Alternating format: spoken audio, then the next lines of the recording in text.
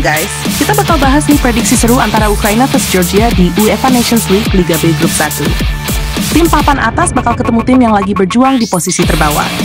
Penasaran bakal gimana hasilnya? Yuk kita ulas bareng-bareng. Ukraina lagi susah banget nih. Ukraina lagi ngelaluin masa-masa berat bro. Setelah tampil kurang greget di Euro 2024 dan tereliminasi di babak penyisihan grup, mereka gagal bangkit di O Nations League. Timnya Sergei Rebrov ini udah berjuang keras, tapi di laga perdana Nations League bulan lalu, mereka kalah dari Albania 2-1. Sakit banget sih, apalagi mereka udah unggul duluan sebelum dibalik keadaan. Dan jangan lupa, perang di Ukraina juga bikin mereka harus jadi tuan rumah di Polandia, bukan di kandang sendiri. Di laga sebelumnya, Ukraina juga kalah tipis dari Republik Ceko dengan skor 3-2 Meskipun di akhir mereka sempat memberi perlawanan lewat gol Sudakov di menit-menit akhir. Sekarang, Ukraina jadi penghuni dasar klasemen grup 1, dan jelas mereka harus all out buat bisa bertahan di Liga B ini. Namun, perjalanan belum berakhir bro. Masih ada empat pertandingan lagi buat mereka membalikan keadaan.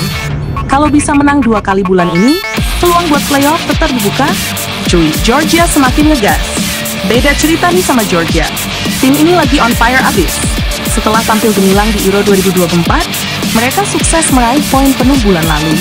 Georgia emang lagi panas banget, apalagi setelah mereka berhasil ngebantai Republik Ceko 4-1 dengan bintang utamanya Vichak Kvaratskhelia yang mencetak gol lewat penalti. Georgia juga sukses ngalahin Albania dan sekarang duduk manis di puncak klasemen grup 1. Dengan rekor 7 kemenangan dari 8 pertandingan terakhir di Nations League, Georgia kayaknya makin pede buat promosi ke kasta tertinggi Eropa head to head, Ukraina versus Georgia. Kalau ngelihat catatan head to head, Georgia sih nggak pernah menang lawan Ukraina dalam enam pertemuan terakhir. Tapi bro, kali ini situasinya beda. Georgia lagi di atas angin, sementara Ukraina lagi dalam kondisi kompang camping. Ray Brock bakal berharap banyak pada striker andalannya, Artem Dovbyk yang udah balik dari cedera. Tapi sayangnya, dua Liga Premier, Alexander Zinchenko dan Vitaly Nikolenko nggak bisa turun. Ditambah lagi, Kapten Andriy Yarmolenko juga absen gara-gara cedera. Waduh, bakal makin sulit nih buat Ukraina. Di sisi Georgia, mereka hampir full team, meskipun Sabalov Zanize absen. Tapi tenang aja, ada Kvichak Paratskelia dan kiper tangguh Georgi Mamardashvili yang bisa jadi andalan. Paratskelia udah sering jadi headline, tapi Mamardashvili juga nggak kalah keren. Dia jadi kiper dengan penyelamatan terbanyak di Euro 2024 loh. Prediksi skor bakal jadi pertandingan yang ketat, guys. Meskipun Georgia lagi on fire, Ukraina tetap nggak bisa diremehkan. Apalagi mereka main di kandang Polandia. Prediksi gue bakal ada hasil imbang di laga ini dan skor akhir 1-1.